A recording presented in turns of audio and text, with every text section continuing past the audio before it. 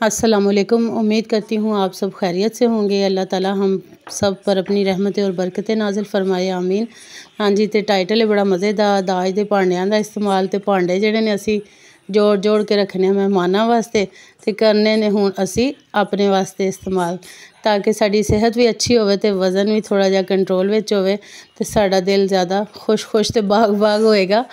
ਤਾਂ ਹੀ ਤੇ ਸਾਡੀ ਸ਼ੂਗਰ ਵੀ ਠੀਕ ਆਏਗੀ ਨਾ ਅੱਛਾ ਅੱਜ ਕੱਲ ਮੇਰੀ ਡਾਈਟ ਅੱਛੀ ਜਾ ਰਹੀ ਹੈ ਸ਼ੂਗਰ ਲੈਵਲ ਅੱਛਾ ਆ ਰਿਹਾ ਤੇ ਮੈਨੂੰ ਬਹੁਤ ਮਜ਼ਾ ਆ ਰਿਹਾ ਡਾਈਟ ਕਰਨ ਵਿੱਚ ਬੋਡੀ ਕਾਫੀ ਹਲਕੀ ਫੁਲਕੀ ਹੈ ਔਰ काम करने में मज़ा आ रहा है थोड़ी जी पंजाबी ते सराइकी मिक्स करके सुनाइए ताकि अच्छा लगे तो दिल भी खुश होवे ये सैलड की आसान सी रेसिपी है मैं इंटरमीडियट फास्टिंग कर रही हूँ और शुगर लेवल को बेहतर करने के लिए तो मुझे जो सबसे आसान फास्टिंग के लिए लगती है रेसिपी और जो मैं बनाती भी बहुत शौक़ से हूँ, मज़े से भी और मुझे हर किस्म की चाट बहुत पसंद है।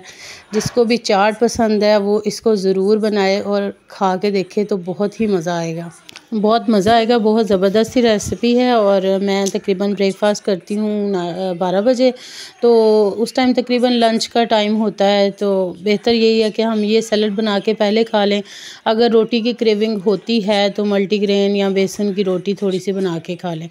ये मैंने कोकोनट थोड़ा सा पीस लिया, खुश्क है। एक गाजू, गाजर को मैंने कद्दूकश कर लिया, एक छोटा सा सेब लिया है और इसमें एक खीरा है। ये चाट मसाला है, एक चम्मच या आधा चम्मच आप अलसी ले लें, थोड़ा इसको क्रंची बनाने के लिए और चिया सीड मैंने थोड़े से लिए हैं और मैं इसमें मिलाऊँगी दो से तीन चम्मच दही के।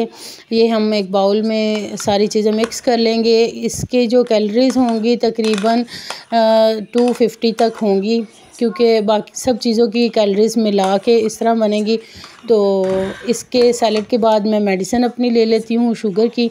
और उसके बाद अगर मुझे बहुत ज़्यादा क्रेविंग होती है तो मैं तीन से चार बाइट जो हैं, वो रोटी की ले लेती हूँ और एक कप चाय पतली वाली और साथ में आ, मीठा वगैरह नहीं उसमें डालती। तो वो ले लेती हूँ। आधे घंटे बाद मैं पाँच से दस मिनट की वॉक कर लेती हूँ। अल्हम्दुलिल्लाह मेरी शुगर काफ़ी बेहतर है और मुझे काफ़ी फ़र्क भी लग रहा है और बॉडी काफ़ी हल्की फुल्की है और ये माशाल्लाह से इतना बड़ा बाउल बन जाता है भर जाता है। इसकी कैलोरीज़ भी कम है और खाने में भी काफ़ी अच्छी हैं। ये मैं तीन से चार चम्मच सफ़ेद चने डाल रही हूँ। बॉयल हैं। मैंने काले चनों की चाट बहुत ज़्यादा खाई है। काफ़ी अरसे से मैं डाइटिंग वगैरह करती ही आ रही हूँ बचपन से लेकर अभी तक ही। तो इसलिए ना मेरा काले चनों से दिल उठ गया, इसलिए मैं सफ़ेद चने शुरू किए हैं। सफ़ेद चने लेके कुछ अर्सा ये लूँगी तो फिर चेंज कर लूँगी। आप इसको मज़ेदार बनाने के लिए इसमें ग्रीक योगर्ट भी इस्तेमाल कर सकते हैं, यानी कपड़े में डाल लें, लो फैट दही को पानी निकल जाए तो उसको इस्तेमाल कर लें, नहीं तो ये घर का ही दही है, लो फैट है तकरीबन। तो मैं इसमें दो से तीन चम्मच मिलाऊँगी एज ए टेस्ट आप चाहें तो ना भी मिलाएँ, आप ऑरेंज जूस भी मिला सकते हैं, आप लेमन भी मिला सकते हैं, जैसी चाट आपको पसंद हो।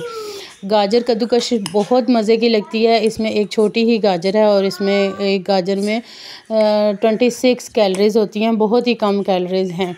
तो बहुत मज़ा भी आएगा, यानी आप इसको चबा चबा के खाएँगे, आपका पेट भी बहुत अच्छे से भरेगा और आपको आया, आहिस्ता आहिस्ता जैसे अब मुझे बहुत ज़्यादा खाने की, यानी रोटी खाने की आदत थी तो मैं उसको आहिस्ता आहिस्ता कम कर हूँ, यानी पहले पेट को सलाद के साथ भर लिया अच्छे से, फिर आपको बहुत ज़्यादा क्रेविंग है तो आप थोड़ी बहुत रोटी खा लें, इससे मेटाबॉलिज़म भी बहुत फास्ट हो जाता है, आपका पेट भी अच्छे से भर जाता है। क्योंकि ये सिर्फ़ फाइबर ही है। इसमें प्रोटीन भी आपको चने की सूरत में मिल जाता है। शुगर लेवल तो अल्हम्दुलिल्लाह बहुत बेहतर हो जाती है। आप इस्तेमाल करके देखेंगे टाइप टू शुगर जो है और ये मज़ेदार सा सलाद, प्यारे जहेज भांडिया च इस्तेमाल